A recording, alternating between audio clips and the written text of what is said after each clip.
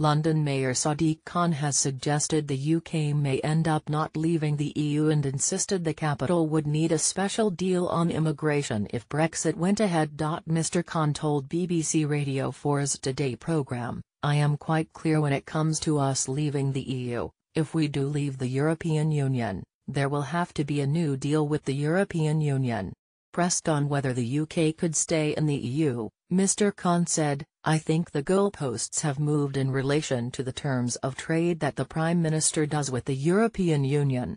If you remember, before the general election, the Prime Minister, Theresa May, was talking about no transitional period, not even having access to the single market, let alone being members of the single market.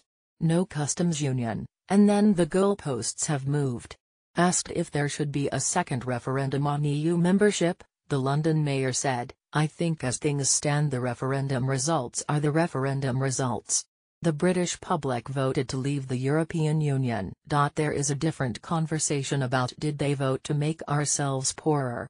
I think the reality is the British public have voted in the referendum, it does appear as if we are leaving the European Union.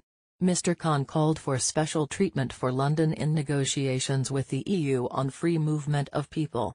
I think London is different to the rest of the country. Why? Because we are the only region to vote to remain in the EU. Why? Because not only do we need immigration, but we want it. Reuse content.